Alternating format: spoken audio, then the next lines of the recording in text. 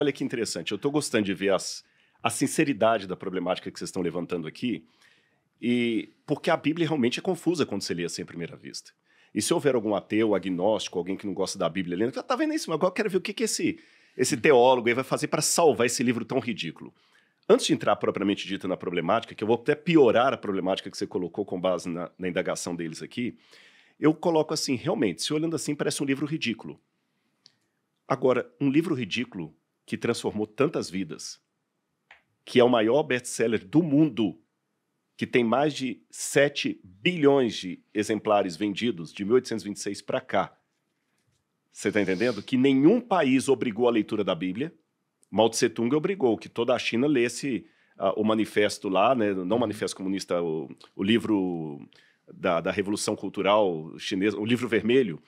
Então, lá na China, todo mundo era obrigado a ler o livro vermelho. Nunca, nem a Igreja Católica, quando teve no apogeu na Idade Média, obrigou os fiéis a lerem Bíblia.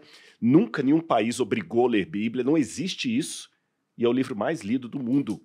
Então é estranho. Como é que um livro aparentemente tão ridículo faz tanto estrago? Ou para amá-lo, que pessoas deram a vida pelo. Eu nunca vi um especialista em Shakespeare dar a vida dele pela sua interpretação do Hamlet. Mas quantos mártires morreram pela Bíblia? Então, peraí. Aparenta ser realmente uma história ridícula. Mas se essa história muda tanta gente, Uhum. Eu vou dar pelo menos um beneplácito da dúvida. Se chegar um cara aqui falando uma coisa de economia que parece um absurdo por tudo que vocês imaginam, ou de investimento, mas o cara está ficando trilionário, você fala assim, peraí, eu vou trazer o cara e quero saber o que, que ele faz. Uhum. Né? Então vamos fazer isso com a Bíblia. Para começo de conversa, piorando a problemática que vocês colocaram, vou tomar licença para usar o seu exemplo aí, o cara não apenas se gaba com a mulher dele num bar conversando com o outro, mas o outro ainda põe dúvida. Sua mulher não é, não é fiel a você, não. Ela, ela não te bota chifre porque você dá dinheiro para ela. E ele vira e fala assim: não, eu deixo você contratar o amante, o, o cara mais bonitão aí, um, um ator global aí, qualquer coisa, o cara mais bonito que tem lá, para ele seduzir minha mulher para ver se ela vai ser fiel a mim mesmo ou não. Seria ridículo o cara fazer um negócio desse. É, então pra, pra que correr pra esse que correr risco, esse né? risco? Ainda mais se fosse Deus, né? É, assim, eu tô piorando é. o que vocês colocaram. E pior ainda, se eu posso piorar ainda esse quadro, coitado do Jó. Parece que. Lembra aquele filme antigo, acho que era com o Ed Murphy, Trocando as Bolas? Que eram dois empresários que apostavam se um, um camarada da periferia podia ah, mudar de vida, porque ele estava lá no topo, e o do uhum. topo caía. Né? Eles ferraram uhum. com a vida do, do CEO lá e trouxeram o cara para cima, ferraram com a vida dos dois, e depois a aposta dos caras era de um dólar. Poxa, será que é isso que nós somos? Um, uma aposta entre o capricho de um Deus com, com o diabo? Vamos por etapas, então, para resolver isso. Quando você leu, num dia em que os filhos de Deus vieram apresentar-se perante o Senhor, veio também Satanás entre eles. Quando a gente lê isso aqui em hebraico, eu já começo a ver alguma coisa interessante. Primeiro, a palavra veio também. Normalmente, em hebraico, você usa uma partícula chamada vav, vav conjuntivo, para colocar coisas juntas. Você está entendendo? Por exemplo, se eu falo o homem e o cavalo, é, raiz, ve, sus, ve, rasus, o homem e o cavalo. Pronto, tranquilo. Os homens e os cavalos. É, raishim, ve, rachushim. Pronto. Aqui não está esse vav, está gam, que eles traduziram por também. Esse veio também, gam, ha, satam, é irônico. Por isso que o São Jerônimo, que eu estava falando com você antes de a gente começar aqui, né? Ele, quando foi traduzir Jó, ele falou que Jó era, era como se fosse um campo enlamaçado, porque você escorregava na tradução, tinha que tomar muito cuidado, porque tinha muita ironia na tradução.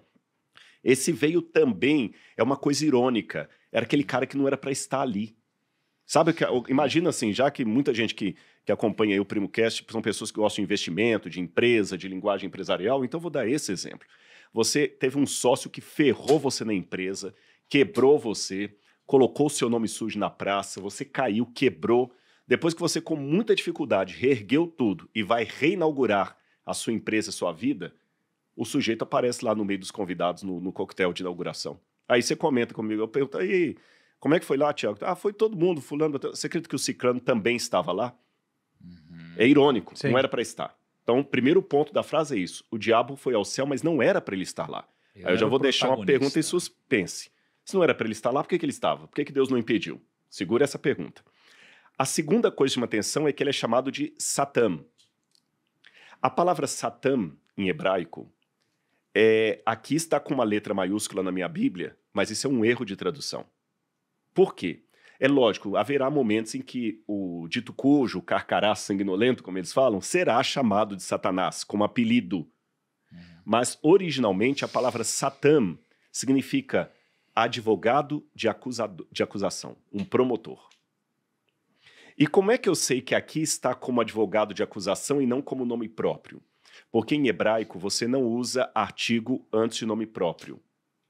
Você entendeu? Eu não posso falar assim, o Rodrigo. Isso funciona em português, em hebraico não. Você não usa o Rodrigo, é Rodrigo. E é óbvio, né? Porque já, já é o nome próprio, não precisa de colocar artigo. Então, como no hebraico está no artigo gam, ha, Satã, veio também o Satanás. Então, gramaticalmente, ali não está falando de um apelido, de um título, de um nome, mas de uma função. Ele chegou como advogado de acusação. Acusando quem de quê? Agora, olha que interessante. É, aqui no Ocidente, no século XXI, se alguém apronta com você, você vai contratar um advogado para te defender. Não é assim que funcionava o direito do Antigo Oriente Médio da época do Bronze, quando eu cito o Jó. Sabe como é que funcionava? Não tinha o papel do advogado como profissional do direito. Isso é uma coisa que vai vir dos tempos greco-romanos. Como é que funcionava? Vamos supor que uh, o meu sócio roubou de mim e eu tenho uma demanda contra ele. Eu vou até o ancião da cidade e falo o seguinte: olha, o fulano de tal, ele pegou várias vacas, não me pagou, me deixou no prejuízo. Se o ancião da cidade vir lastro jurídico no que eu estou reivindicando, ele vai chamar o sujeito e o ancião vai me nomear Satã. Olha que curioso. O Satã, o advogado de acusação, é a própria pessoa que se sente lesada. Não é um profissional que você contrata, mas é você mesmo que, diante do juiz, acusa o outro. Você recebe o título de Satã. E quem faz o papel de advogado de, de defesa é o próprio juiz, que ele vai falar assim, não, o fulano realmente ele está te devendo 10 vacas, ele vai te pagar por 10 vacas, não por 20 vacas, tá certo? Ou não, ele é inocente. O juiz é o advogado de defesa e o advogado de acusação é a própria pessoa lesada. Então, se Satanás apareceu ali no céu, onde ele não deveria estar, como advogado de acusação, então quem que é o acusado? A resposta a essa pergunta vem no diálogo cabuloso entre Deus e ele. Deus pergunta assim: De onde vens? Mia e Tavô. De onde você vem? Que é uma ironia. Cadê sua credencial? Quem te convidou para estar aqui? Com que autoridade você está aqui? E a resposta que ele dá de rodear e passear pela terra, de perambular, um dia desse estava até conversando com um amigo meu que é hebraísta, ele falou: Eu acho que esse perambular é que o diabo estava realmente à toa. Eu tenho uma, uma visão um pouquinho diferente. Uh, no livro do Gênesis, você tem uma frase análoga quando diz que Deus passeava pelo jardim na viração do dia. Tanto é que algumas traduções da Bíblia trazem assim: de rodear a terra e passear por ela. Não perambular, passear por ela. Deus também passeava pelo jardim quando Adão e Eva comeram do fruto proibido. Passear. Davi passeava pelo seu palácio à noite quando ele viu Betseba tomando banho e, e foi lá e pegou a mulher do cara. O uhum. que, que significa esse passear? não é um passear porque você vai à Disney. Significa um tipo de caminhada que você dá no seu território para ver se tudo está bem, de acordo com a sua vontade, se não há rebelião, se não há movimento para te tirar do poder. Uhum. Então, se o cara fala a resposta dele de rodear a Terra e passear por ela, ele está respondendo como dono do planeta Terra. Nossa. Essa, a linguagem de Jó é muito jurídica muito técnica. E, e, é interessante você falar sobre esse dono da terra, porque uma passagem completamente diferente, mas aí no Novo Testamento, né, quando você uh -huh. vê Jesus conversando com o diabo, Exatamente. e o diabo diz que poderia dar tudo uhum. para Jesus, Jesus não questiona a autoridade dele em poder ou não Exatamente. entregar tudo. E quando você fala agora que ele estava rodeando como o dono da terra, no final das contas você vê que existe esse arco. Né, Exatamente. Né, e no outro momento Jesus também fala assim: vem aí o príncipe desse mundo. Uhum. E outra passagem, o mundo jaz no maligno. E no Apocalipse, quando tem o juízo final, fala assim: o mundo se tornou do nosso Senhor e do seu Cristo. Agora, não sei se está ficando clara Sim. a concatenação que estou fazendo. Agora, vamos fazer uma pergunta aqui que eu não respondi. Quem deu a terra para Satanás e com que autoridade ele foi ao céu ainda, ainda ainda foi como advogado de acusação. E quem que é o acusado? Vocês sabem que, em termos jurídicos, há demandas que não são morais, porém elas são legais. Vocês entendem uma frase? Elas não são morais, mas elas são legais. Perfeito, concordo. Às vezes eu, eu uhum. vou lá, engano você, uhum. pego o, a sua assinatura no, no na, na, procuração. Moral tá errado, mas legalmente tá certo. Mas legalmente tá certo. O juiz fala assim: olha, cara, ele te passou a perna. Moralmente ele foi um sacana com você. Ele não, você confiou nele e ele aprontou com você. Mas legalmente eu tenho que passar para a mão dele, porque você, você assinou o documento. O diabo não tinha motivos morais para estar no céu, mas ele tinha motivos legais. Porque quando Adão e Eva escolheram o lado das trevas, desobedecendo a Deus e comendo do fruto proibido, eles entregaram de bandeja o planeta Terra para o diabo. E a única maneira do planeta Terra, juridicamente falando, ser recuperado das mãos do diabo é se alguém sofresse a morte eterna. Uhum. Por isso que Cristo morre na cruz do Calvário. Daqui a pouco a gente pode voltar a falar sobre isso. Hum, Até Jó, caramba. Cristo não tinha morrido na cruz do Calvário. Então, não moralmente, porém juridicamente, o mundo ainda pertencia a Satanás. Caraca, plot twist. Hein? Aí por que que... Agora a gente começa a entender a, a, a, a ironia. Veio também Satanás. Moralmente não era para ele estar ali no céu representando o planeta entre, porque ele fala os binelo, rimos, filhos de Deus, talvez pessoas representando vários outros mundos, eu não sei, estou supondo aqui. Ele não tinha o direito de estar ali. Quem está, deveria estar era Adão, ou um representante da raça humana, ele que foi. E aí, quando Deus pergunta: o que, que você está fazendo aqui? De onde você vem? Que eu falei ironia, né? E ele respondeu: Eu vim aqui porque eu tenho o direito de rodear a terra e passear por ela. Ela é minha. O Senhor não está deixando eu ter o que me é de direito. A terra é minha, eu tenho direito sobre ela. Aí Deus falou: É mesmo? Não tem, não. Tenho sim. Você já viu meu servo Jó? Nem todo mundo te aceita lá.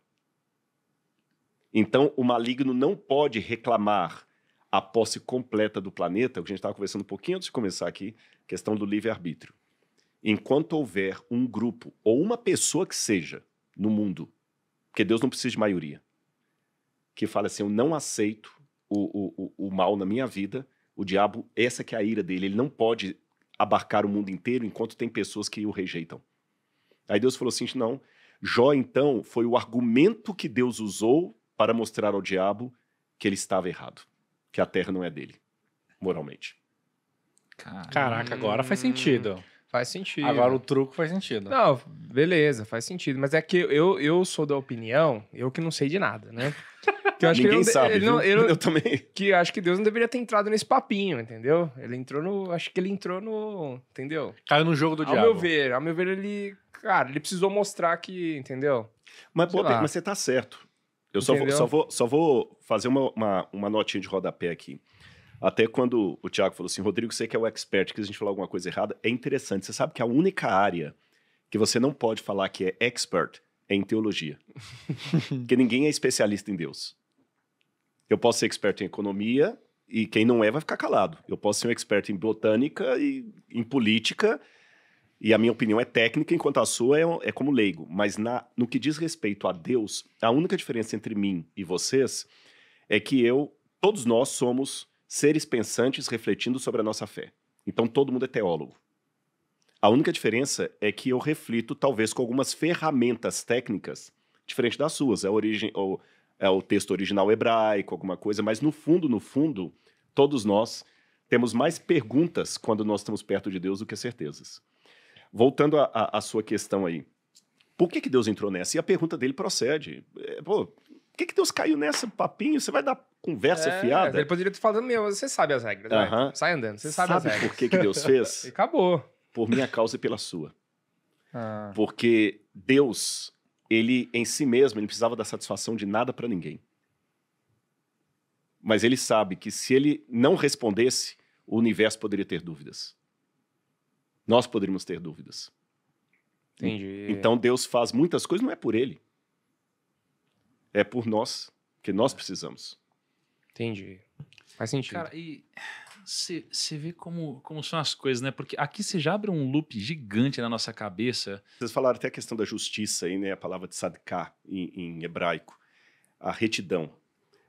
Você, vou, o livro de Jó quer mostrar duas coisas para mim. Em primeiro lugar, não existe justiça nesse mundo. A justiça dos homens ela é outra coisa. Né? Exatamente. Não, não, nem a dos homens não vai haver. Esquece. O próprio é, apóstolo Pedro falou: Nós aguardamos novos céus e nova terra nos quais habita a justiça. Então, as intervenções que Deus faz nesse mundo é pela dinâmica do grande conflito. E a outra palavra-chave para a hermenêutica de Jó é o conflito entre o bem e o mal, a luz e as trevas, Deus e o diabo, tá bom? E, e os dois lados nos querem. Porque, na verdade, vocês viram que Satanás era o advogado de acusação, Deus era o acusado e Jó era o objeto da demanda jurídica. Jó era o objeto. O bem e o mal nos querem. Os dois lados querem você. E não há. É, é, ah, eu quero ficar neutro. Não, esse negócio de acender uma vela para Deus, outro para capeta, não existe. Então não existe justiça nesse mundo. Se Deus não intervier em nada, nós vamos nos, nos sentir abandonados. Se ele intervier em tudo, a gente não vai entender que está num grande conflito. Então, Deus intervém na história apenas em alguns momentos, falando assim: filhos, eu ainda estou aqui, calma, calma, está tudo sob controle. Mas as promessas últimas são apenas depois da restauração de todas as coisas.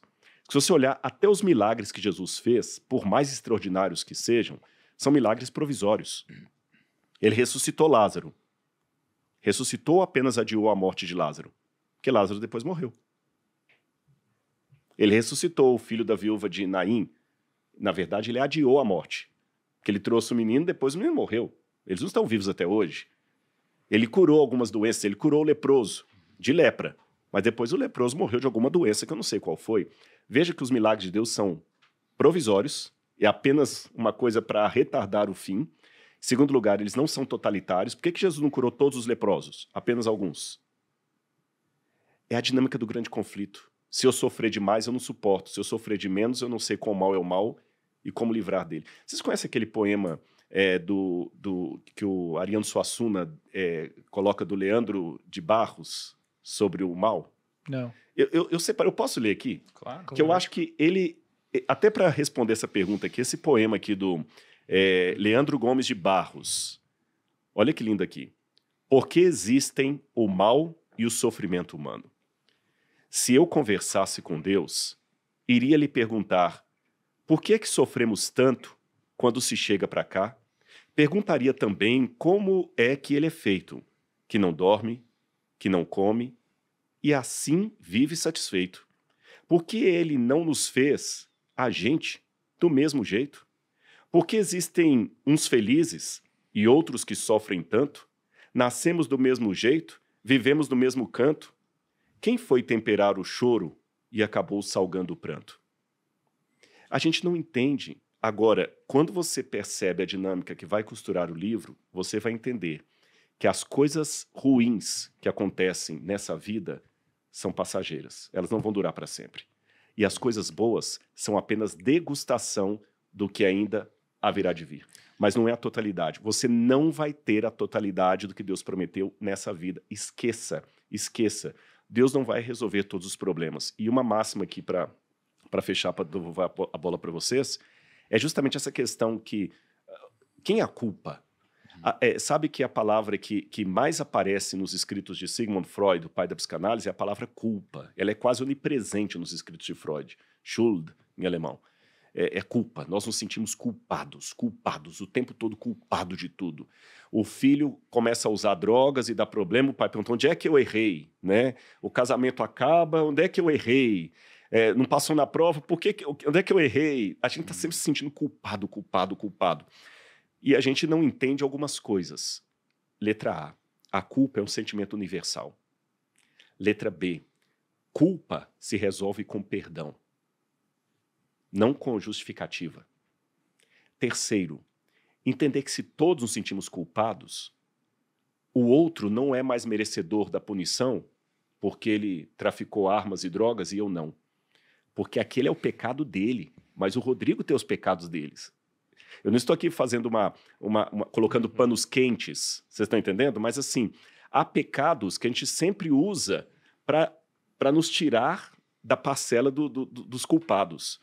Né? Puxa vida, eu não mereci esse câncer. Poxa, eu nunca matei, nunca saltei, nunca tirei a vida de uhum. ninguém, nunca fiz mal para ninguém. Eu não fiz aqueles crimes que eu estou citando ali, mas tem outros que eu já pratiquei. Não, mas, tem, mas tem tipo um ranking um ranking dos pecados, é, é entendeu? É, existe. Existe um ranking existe. dos pecados em que sentido?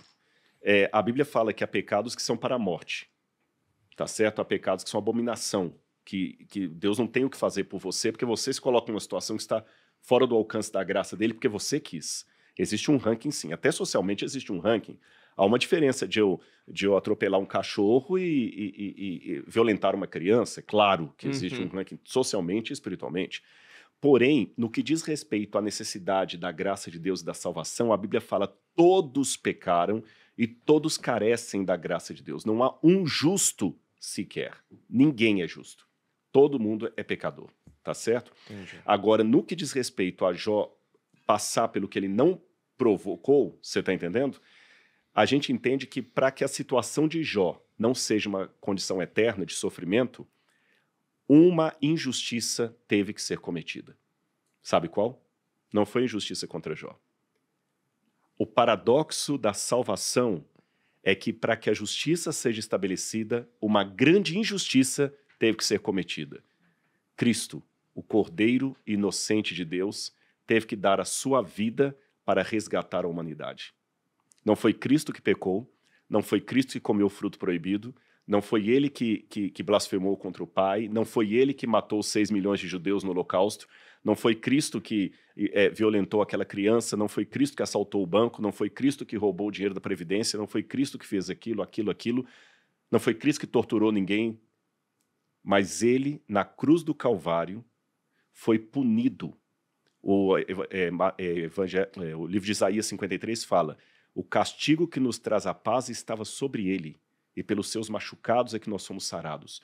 E Isaías mesmo viu que era uma coisa tão estranha que Deus estava mostrando para ele, alguém inocente morrer no lugar de uma humanidade toda condenada, que Isaías começa o texto falando o seguinte: quem creu em nossa pregação?